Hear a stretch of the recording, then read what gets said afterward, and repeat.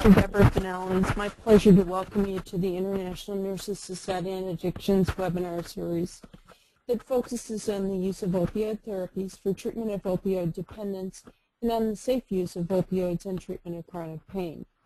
This series is one of many resources made available by the Prescribers Clinical Support System Opioid Therapies, a program that is funded by the Federal Center for Substance Abuse Treatment and operated collaboratively by six other partner organizations, the American Academy of Med Addiction Psychiatry, the American Psychiatric Association, the American Medical Association, American Osteopathic Academy of Addiction Medicine, American Dental Association, and the American Society for Pain Management Nursing. I'd like to just go through a few quick housekeeping notes before we get to today's presentation. In the upper right of your computer screen, you'll see a control panel.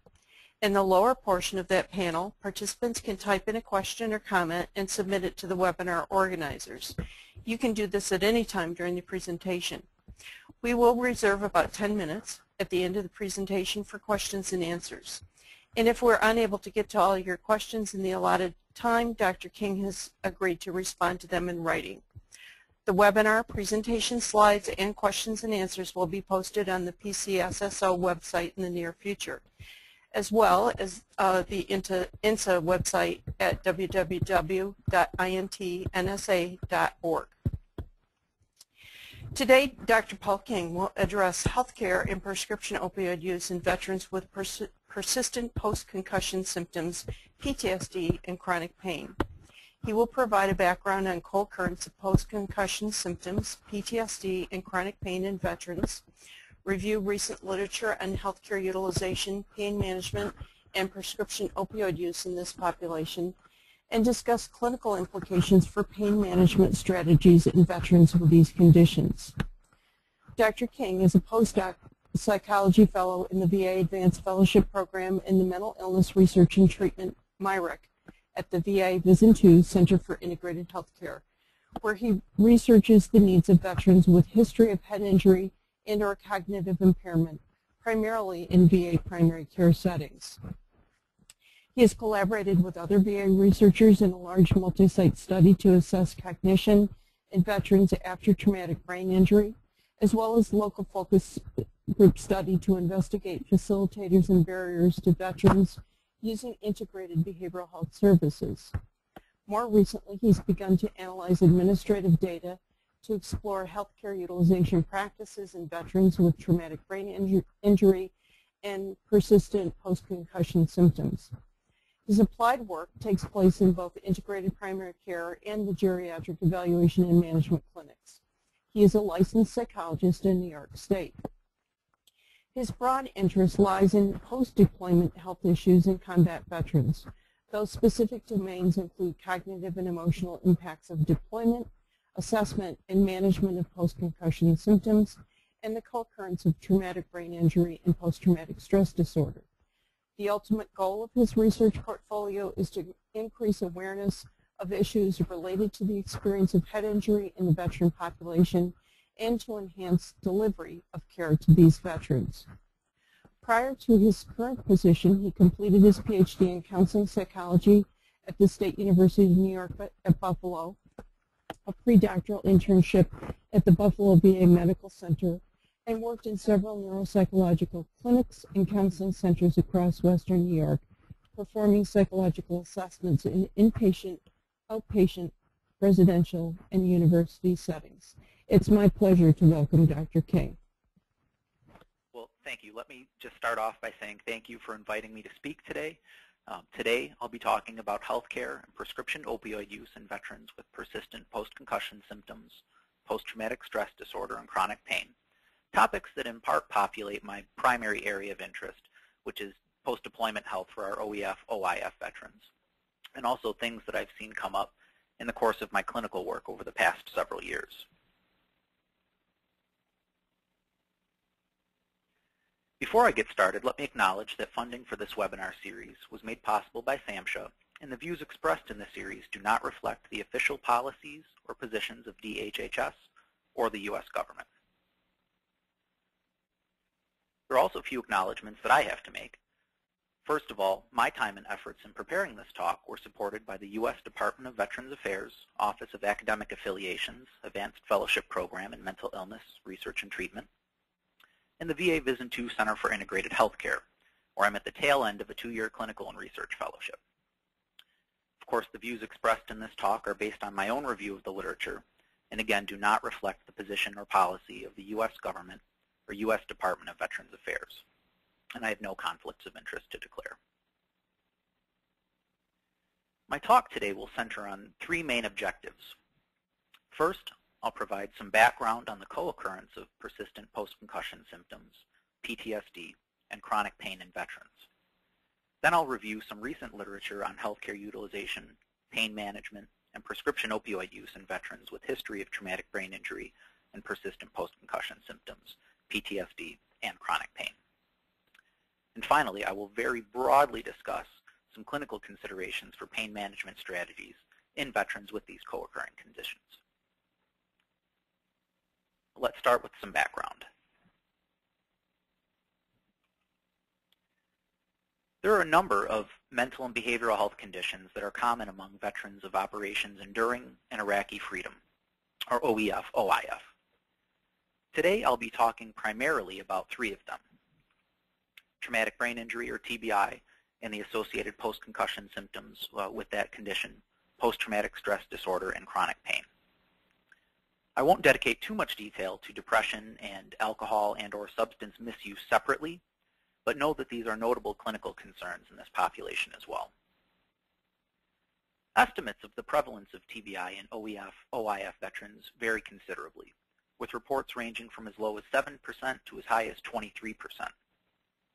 Typically, lower estimates tend to correspond to rates of clinician-confirmed diagnoses, with higher estimates corresponding to self-reported history of head injury.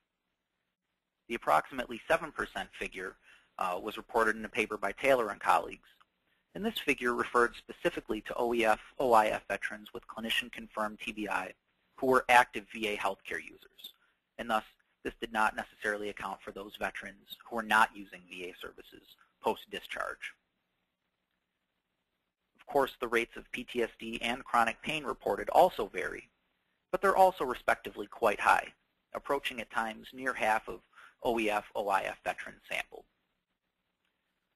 although today I'll be referring primarily to rates observed within OEF OIF veterans, it is worth mentioning that there is a wide body of literature that's explored the rates of these conditions in other veteran cohorts, as well as the veteran population at large.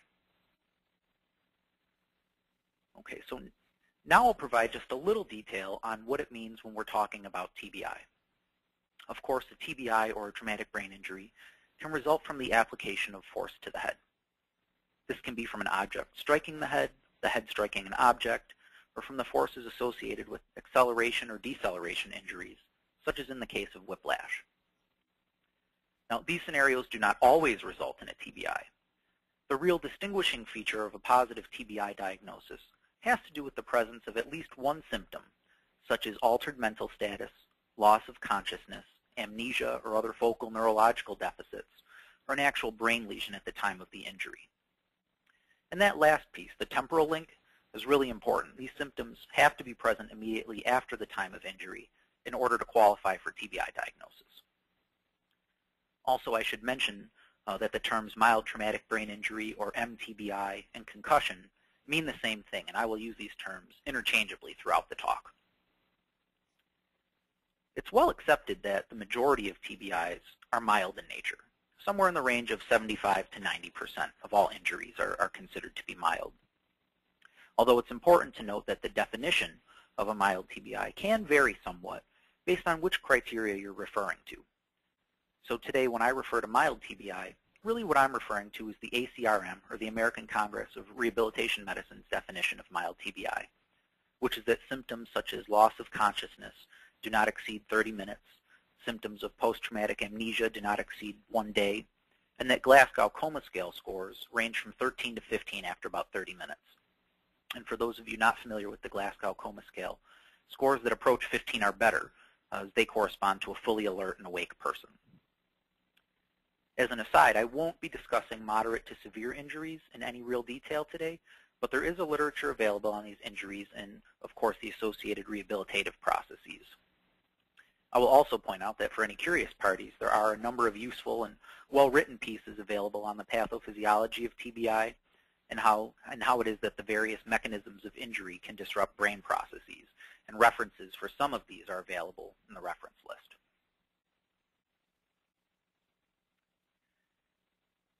Okay, uh, but back to business. It's also well accepted that military personnel are at an especially high risk of sustaining TBIs due to the nature of modern combat operations. Many of the mild injuries reported in the literature are attributable to the effects of blast exposure via improvised explosive devices, with more severe injuries being associated with penetrative injuries, as in the case of gunshot wounds.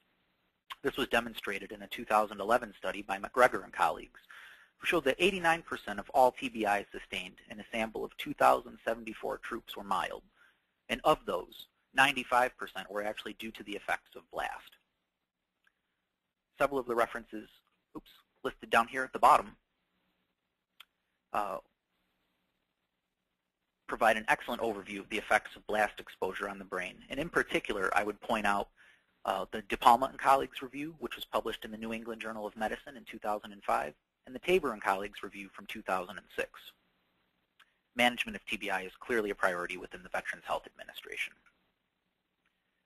But having a history of head injury and then presumably healing is certainly not the same thing as having a current head injury and current symptoms. We'll talk more about this later, but this has important implications for screening practices. For example, the current four-item VA traumatic brain injury screening tool is not designed to identify veterans who ever had a head injury. Head injury. It's designed to identify OEF, OIF veterans who sustained a possible head injury and who are currently symptomatic. Also note that positive screens do not necessarily mean that there is or was a TBI for certain. Clinician confirmation is needed to establish that, and that's done via full diagnostic assessment. Positive screens simply indicate that the veteran is reporting symptoms that could be due to a head injury, but also could be due to other medical or psychiatric conditions. Current clinical practice guidelines suggest several helpful algorithms uh, for the assessment and treatment planning of veterans with mild traumatic brain injury.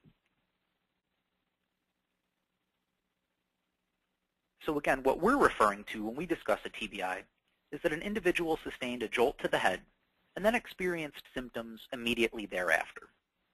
Now, we already discussed that the diagnostic features of a TBI, and they include loss of consciousness or altered, altered mental status, and so forth. But in fact, there are actually a number of associated symptoms that are commonly reported immediately after a head injury. And we would expect that to be the case after disruption of brain functioning.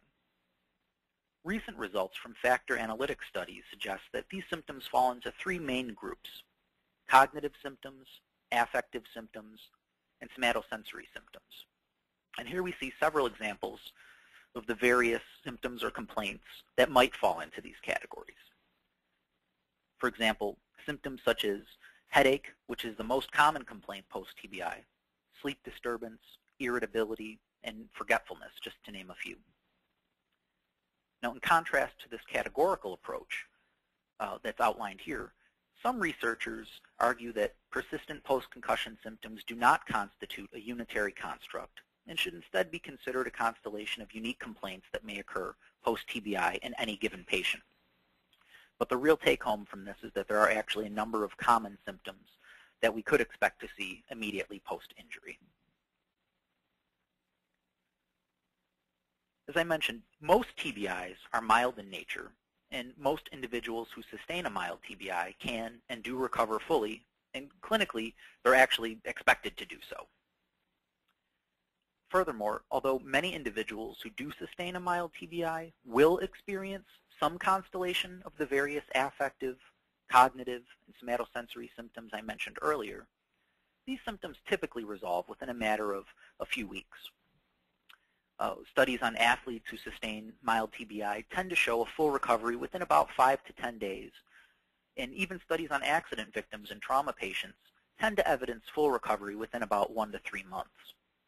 It's really only a small, very small percentage of patients, perhaps around 5%, uh, as is evidenced by large, well-controlled studies, but maybe as high as 10%, who then go on to complain of what we refer to as persistent post-concussion symptoms, or as I'll abbreviate here, PPCS. It's more often the case that patients who would go on to sustain uh, moderate to severe injuries would then be at risk of lasting cognitive deficits.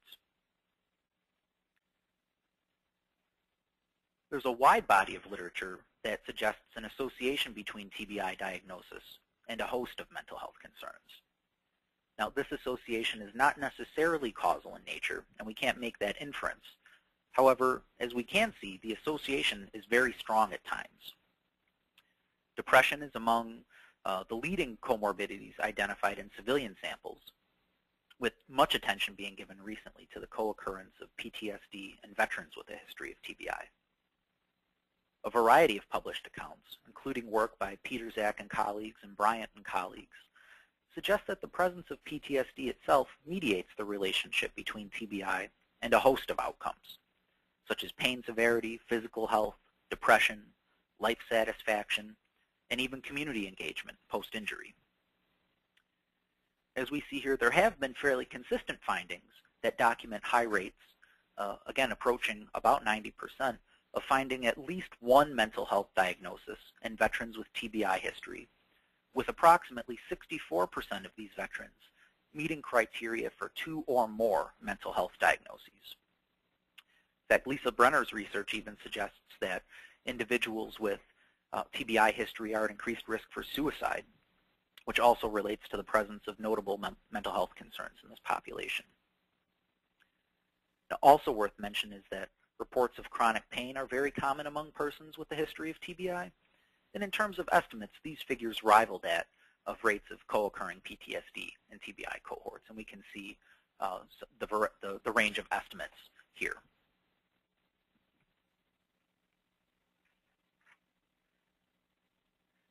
This next slide illustrates some notable features specific to OEF, OIF veterans with clinician-confirmed TBI diagnosis who use VA healthcare. These figures were extracted from a review of national VA records conducted by Taylor and colleagues. And what we see is that from 2009 to 2011, the number of OEF, OIF veterans with documented TBI has steadily risen. Most often these are male veterans with service-connected conditions who meet criteria for at least one mental health condition. And typically, as we see, that condition is PTSD. Also noteworthy, though, are the high rates of pain reports, typically headache, and in more than half the cases, some combination of PTSD and reports of chronic pain. And these are the things that I'll talk about next and how they fit together in this special population. On this next slide is just a refresher of PTSD symptom clusters as we saw them in DSM-4, re-experiencing, avoidance, and hyperarousal symptoms. The way these symptoms are laid out uh, for now fit just fine for our purposes, as the research that I'll be referencing primarily used these criteria for diagnostic impressions, although I will point out that PTSD criteria have been revised a bit for DSM-5. Clearly a number of notable behavioral and affective features exist, such as sleep disturbance and irritability, and these are among many of the symptoms that are of interest for us today. Of course, a joint VA Department of Defense clinical practice guideline exists uh, for the assessment and management of PTSD symptoms as well. Um,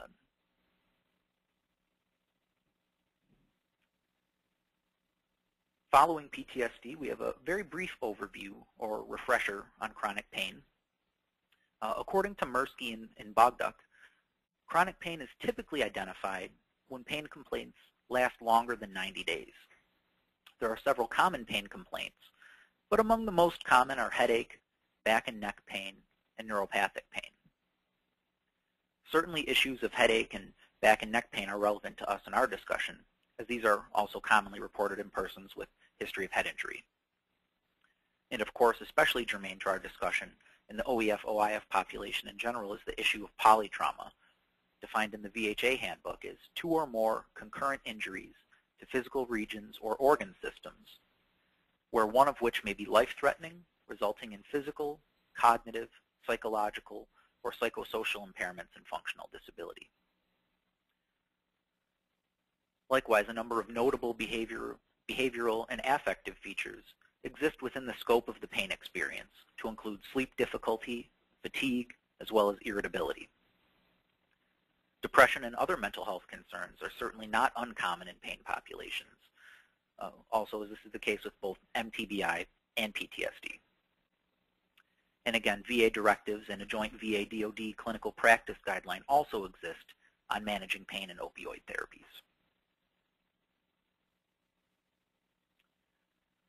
So how do these things all fit together? Well, as we saw before, each is common among veterans, and both PTSD and complaints of chronic pain frequently occur among veterans with history of TBI who complain of persistent post-concussive symptoms. Taking note of this, Lew and colleagues referred to these three co-occurring conditions as the polytrauma clinical triad, or as I'll abbreviate later in this presentation, P3. And not only do these conditions co-occur at notably high rates, an added challenge is that many symptoms associated with each condition separately are in essence the same, which makes it difficult, if not impossible, to definitively comment on the underlying etiology. For example, whether a symptom is attributable to lasting effects of concussion, PTSD, or chronic pain, or some combination of the above. Take, for example, Stein and McAllister's comments on the breakdown of PTSD and persistent post-concussive symptoms. It's easy to see that there's actually a significant shared symptomatology here.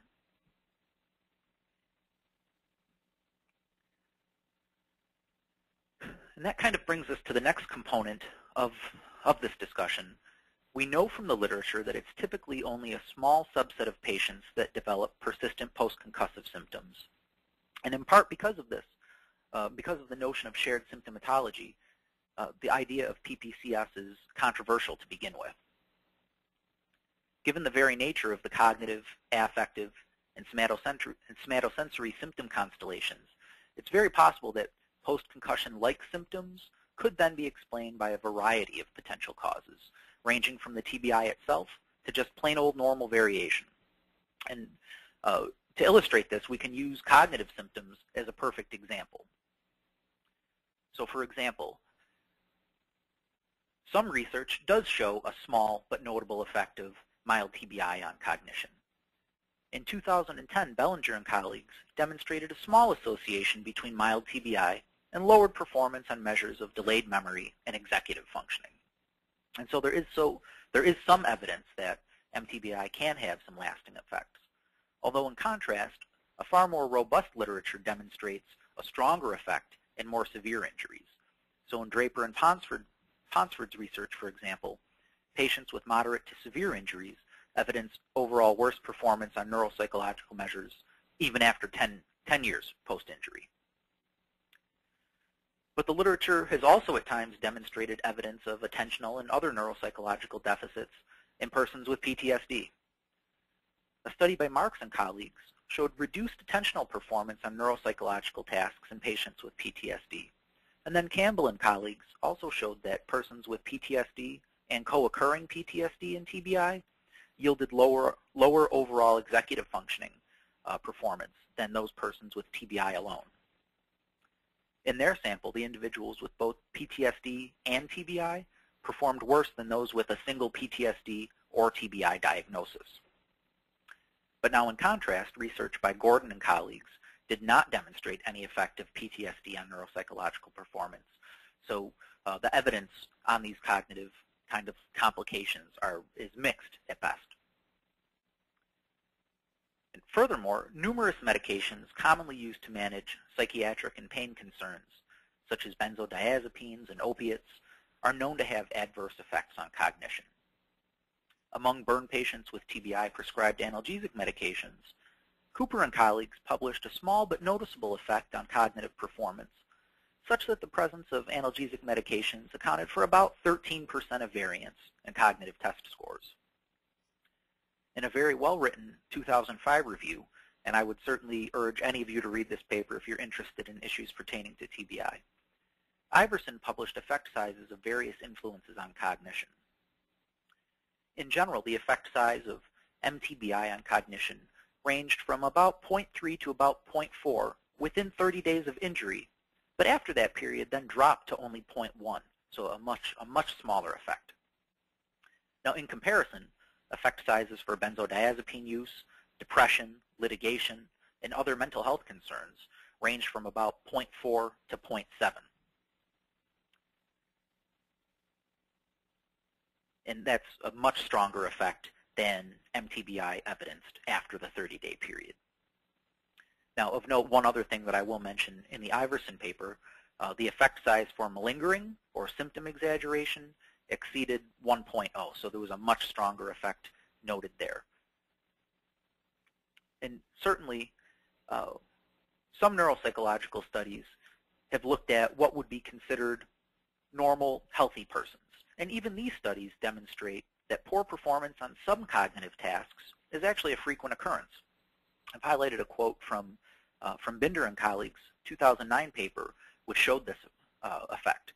And in essence, they found that abnormal performance on some proportion of neuropsychological tests in a battery is in fact psychometrically normal. So considering that, it's easy to see that uh, to see what we might view as persistent post-concussive symptoms are not specific and can potentially be associated with several other explanations. According to a quote from Iverson in 2005, a person who has depression, chronic pain, post-traumatic stress disorder, or a combination of problems is virtually guaranteed to endorse many post-concussion-like symptoms. In several studies of normal controls, persons with depression, PTSD, uh, even certain personality characteristics, and persons involved in litigation indeed have demonstrated increased rates of post-concussive-like symptom reports, even among people who never sustained a TBI. And so that, that being said, though, these symptoms are still also associated with TBI, and some recent studies have shown that veterans exposed to blast are particularly susceptible to these reports.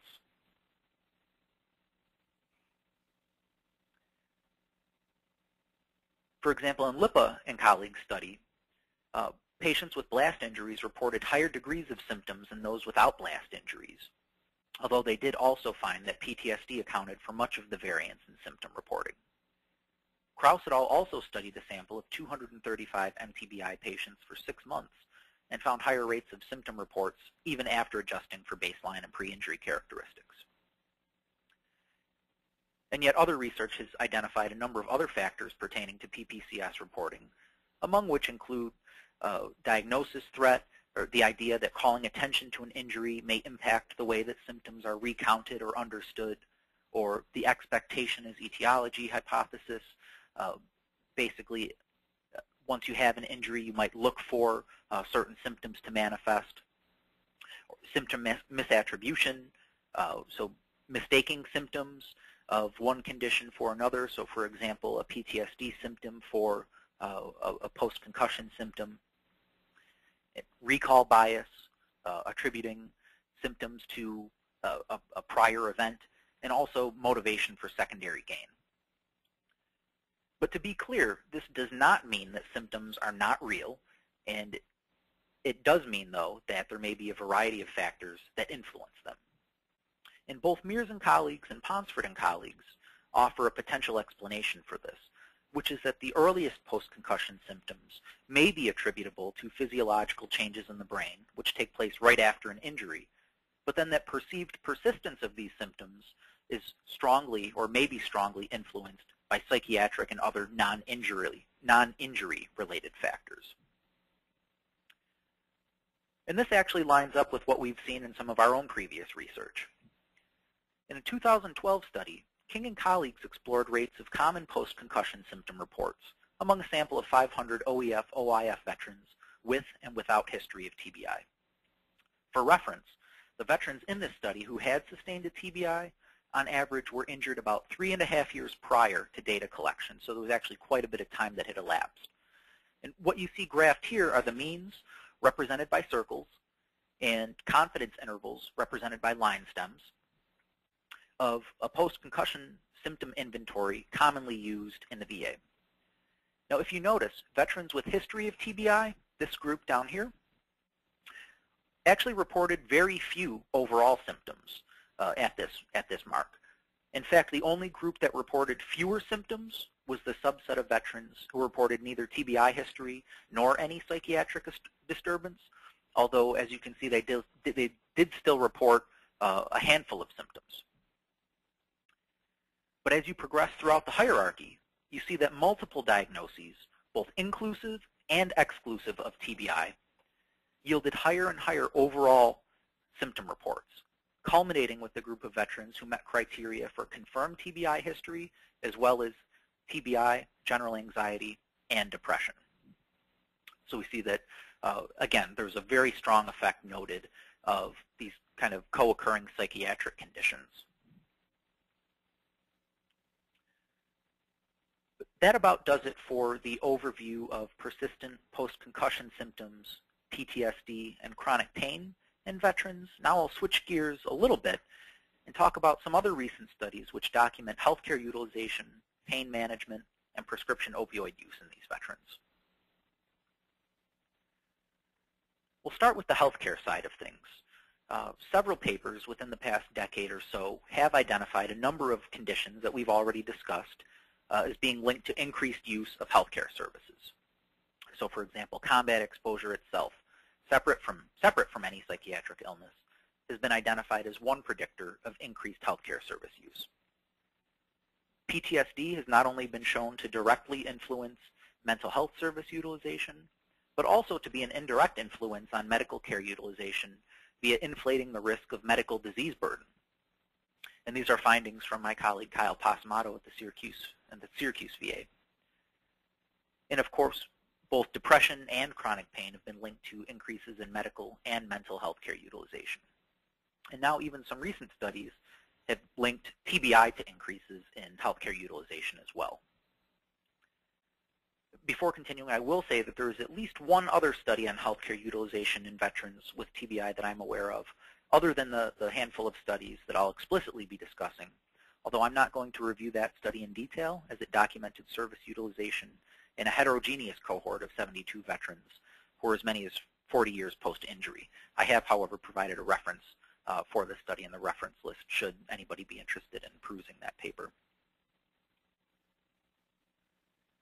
And so these data are taken from the same series of studies I mentioned earlier by Taylor and colleagues.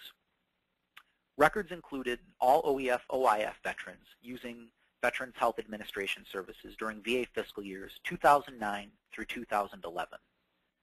Although cross-sectional and very much descriptive in nature, we can see that veterans with clinician-confirmed TBI averaged nearly four visits to their primary care physicians per year and nearly 12 visits to mental health providers per year at a cost of nearly four times more than the average OEF OIF patient.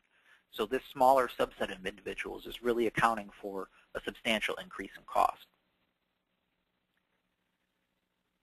In a smaller but separate study, King and colleagues explored outpatient healthcare utilization in a sample of 780 veterans with TBI receiving care in upstate New York. Overall, these veterans were demographically very similar to those as reported in the Taylor et al. studies and evidenced similar rates of primary care usage. Now in our study, we did observe somewhat lower rates of mental health services, uh, but that may be in part because we focused exclusively on outpatient services, whereas Taylor et al. included inpatient utilization in their investigation.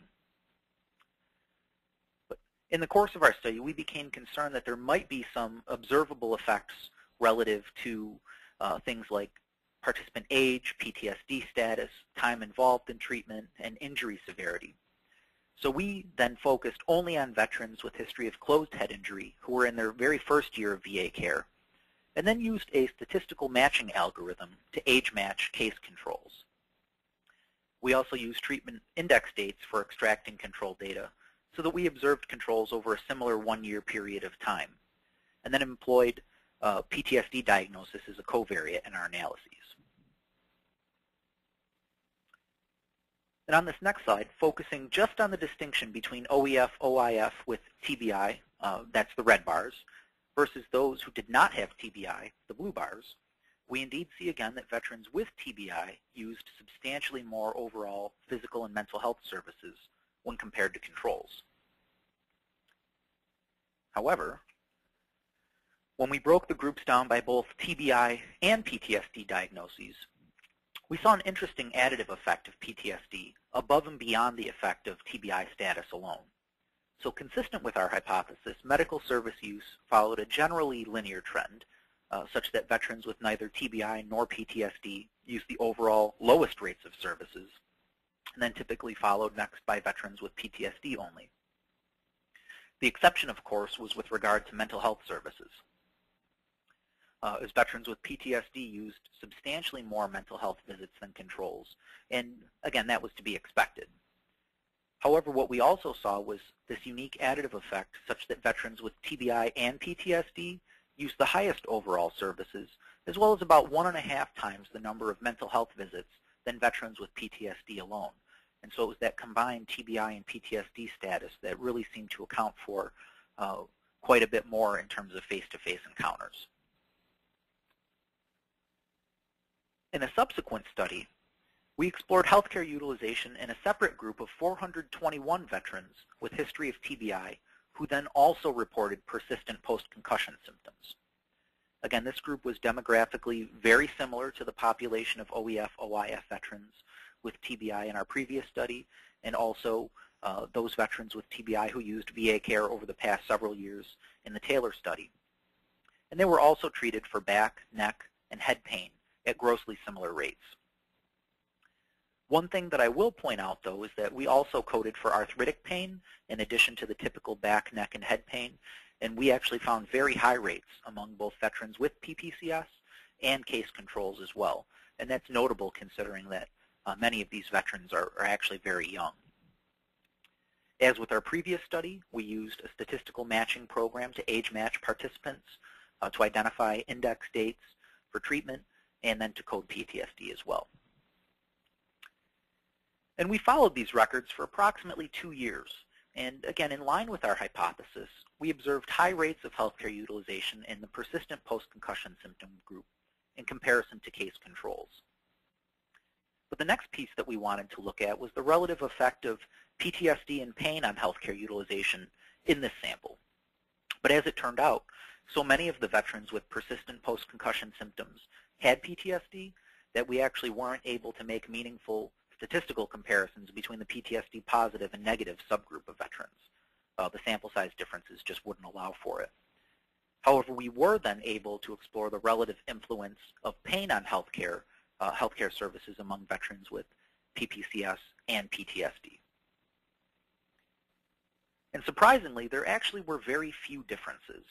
In fact, after accounting for the influence of PTSD, there was not much additional medical or mental health service burden uh, by considering the effect of chronic pain. So in other words, veterans with PPCS and PTSD were using similar, or I'm sorry, were using services at similar rates as veterans with P3, or with all three of those conditions together.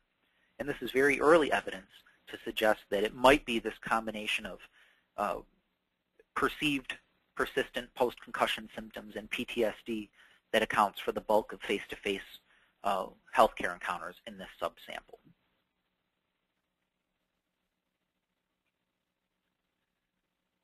The next topic under healthcare utilization involves opioid use specifically. So I'll start with just a, a very brief overview of opioid use in veterans.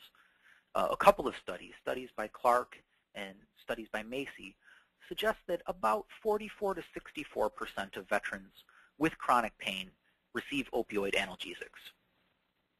Although pain interference has been associated with some increased risk of opioid misuse, substantially larger risks for misuse and for non-medical use are associated with alcohol, drug, and opioid misuse disorders, as well as depression. Some studies, uh, for example, Becker et al., have even shown a link with smoking. Uh, now, research has shown benefits to scheduling and monitoring opioid use, to include increased compliance and better pain treatment outcomes uh, for opioid users. In veteran subsets, particularly among veterans with PTSD and other mental health concerns, uh, researchers such as Hawkins et al. have observed high rates of concurrent benzodiazepine and opioid use. Some studies have even shown that OEF, OIF veterans with chronic pain are highly likely to be prescribed opioids, typically by their primary care providers, and that even short-acting opioids were common among long-term opioid users. And also veterans with PTSD and other psychopathology, uh, they've, they've been shown as well to be more likely to receive high doses of opioids, to get early refills, and even to be prescribed multiple uh, concurrent opioids at the same time. Next, I'll talk a little bit about opioid use in patients with TBI history in general. Uh, some civilian studies have shown that as many as 71% of patients who were hospitalized for TBI uh, after motor vehicle accidents, for example, uh, receive an opioid prescription at the time of discharge. Now, typically, these prescriptions are intended to be short-lived and you know, for use in managing issues with acute pain. But outside of this case, relatively little information is available on the use of op opioids in other persons with TBI. One recent study of former NFL players by Cottler et al.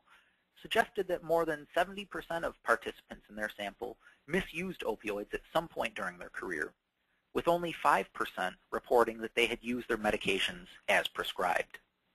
Now in their study, undiagnosed concussions significantly predicted current opioid misuse with an adjusted odds ratio of more than 4. But despite the research that's available on veterans in general, civilians, and pro athletes, substantially less is known about opioid use in veterans with TBI. Because of this dearth of knowledge, and this is admittedly the least developed portion of the talk, uh, this is an area clearly in need of additional research. Much of what is known uh, on veterans with TBI using opioids comes from data published from VA polytrauma rehabilitation centers and network sites. Two of the very few works that have attempted to document opioid use among veterans with TBI and or polytrauma are Clark and colleagues and French and colleagues, respectively. In their paper, Clark et al. pointed out that although pain-related problems were common among wounded veterans, that there's a limited understanding with regard to pain outcomes in this population.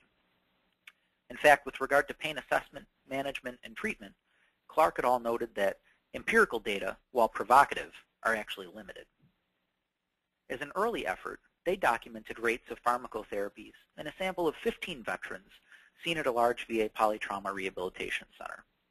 Approximately 58% of these veterans had been treated with opioids, though the authors identified an ultimate goal of reducing reliance on opioids for pain management while simultaneously reducing potential cognitive side effects and pain intensity. In a later study, French and colleagues explored medication use in a sample of 60 veterans with combat polytrauma, including blast injury, and also observed notably higher rates of opioid and anticonvulsant use, as well as multiple other medications with potential side effects. In fact, participants in their sample averaged about 17 pharmacy claims per month. So again, in, in the French et al. study, their sample averaged 17 pharmacy claims in a month. One additional component of our previously mentioned study on veterans with PPCS uh, was to explore rates of medication use. Our findings, although very much descriptive in nature, also suggest that more than half of the 400 veterans we collected pharmacy data on were prescribed opioids, and that these veterans also used a number of other medications at notably high rates. And these findings build upon the data published by Clark and colleagues and French and colleagues. But again, being these data are very much descriptive in nature, uh, it's difficult to draw conclusions about clinical outcomes or the pathways in which these veterans specifically came to be prescribed their medications or for what uh, specific concerns. But again, generally little is known about opioid use in veterans with TBI as well as uh, their pain treatment outcomes.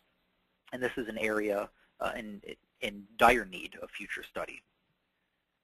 In one mixed method study, we're currently exploring in depth the experiences uh, that veterans with TBI have had with symptoms and their symptom management practices in a sample of about 30 veterans with, uh, with history of TBI and including pain management strategies and their response to intervention.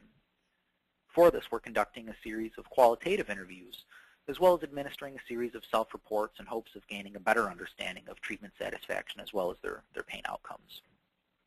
But again, the research in this area is very limited currently. So on to the last section, um, clinical implications.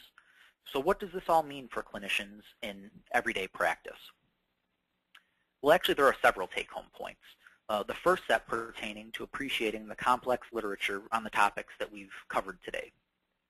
It's important to understand the demographics and common presenting concerns of the veterans that we might work with, and to know that PTSD and pain often co-occur in veterans with a history of mild TBI. Second, it's important for clinicians to remember that perceived cognitive deficits are not necessarily attributable to TBI history, and that other explanations may exist to include normal variation. Now, that doesn't mean that cognitive deficits aren't present. It's just adding a bit of context uh, to some of those complaints. And third, it's important to screen for and assess current symptoms related to TBI, PTSD, and chronic pain, as well as alcohol and substance use and sleep problems. But remember that positive screens are not the same as a confirmed diagnosis.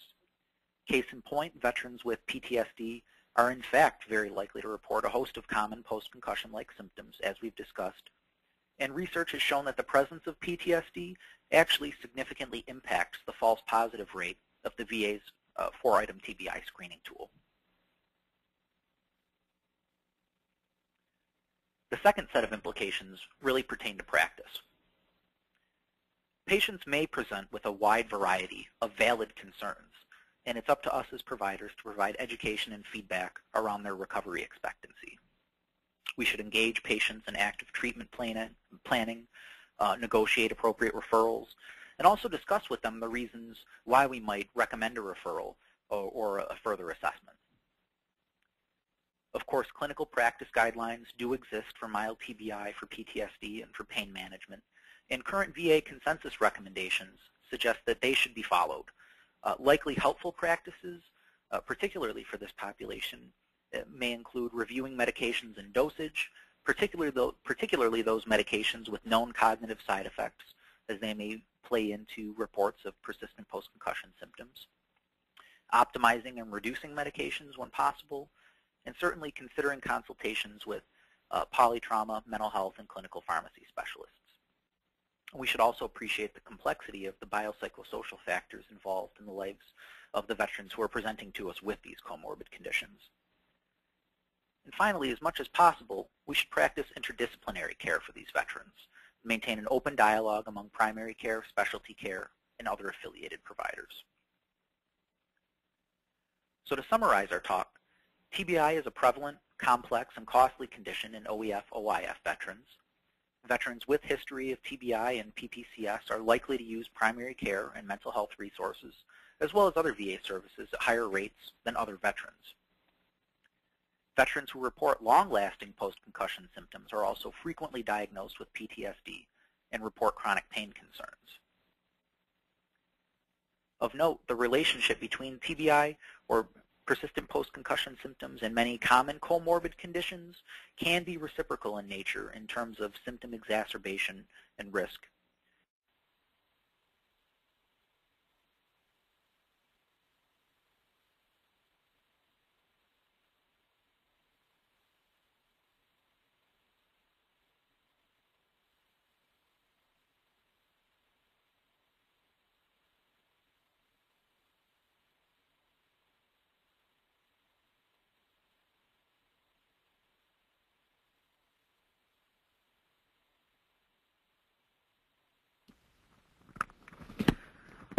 I'm going to step in here because uh, it sounds like uh, maybe our presenter uh, is dropped off. Um, and while we're hopefully waiting for him to come back in, um, I um, have some comments that have come in and I would like um, to have people at this time weigh in with some questions so that um, we can field those to Dr. King when he returns. Um, and again, he's uh, indicated that he would address questions uh, in writing as well.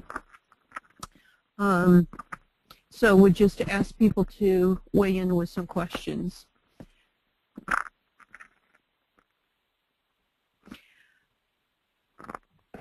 Uh, he's also indicated to us that he would provide the uh, references, a full reference list, and um, uh, as we've mentioned before, the PowerPoint slides and the handouts will be available and posted on the website.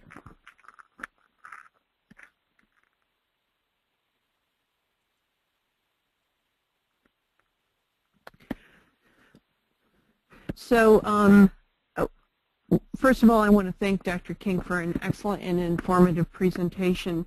Um, I had uh, some questions that came in that I wanted to ask as well, and one of those related to um, the focus that he had in terms of mild TBI versus moderate. And as he and I had had some discussions earlier on this topic, uh, Dr. King mentioned that the studies on this uh, topic are few uh, and um, perhaps limited. And so that may be why he focused on mild TBI. Um, the um, one study that he mentioned from French et al. Um, would be interesting, I think, for people who are interested to take a look at because that study may be more inclusive of those veterans who uh, would be having, who would have moderate uh, TBI.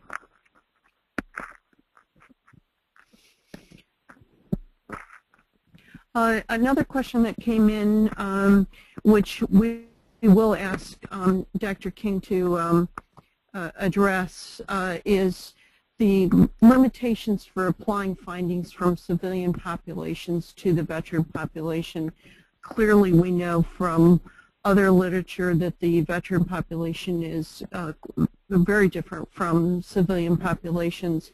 So um, I think it's important to, to look at those limitations for applying findings from the other studies. One of the points that he made is that um, the literature looking at TBI as brain-based disorders um, may suggest that there's more similarity between civilian uh, populations and veterans with respect to traumatic brain injury, though the um, the cause of that traumatic brain injury may be significantly different among the veteran population.